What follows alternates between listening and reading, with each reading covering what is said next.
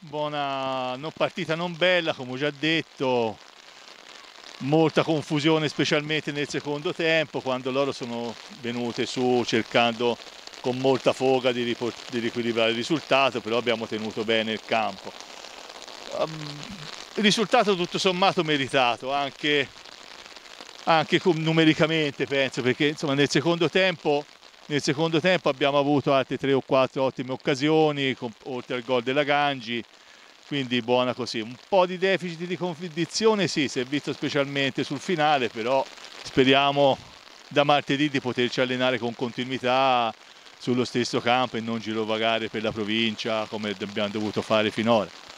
Come ho detto questa settimana ci siamo potuti allenare solo due volte e martedì le ragazzi dopo, la, dopo l'allenamento hanno fatto la doccia ghiaccia che non è proprio il massimo, però ecco,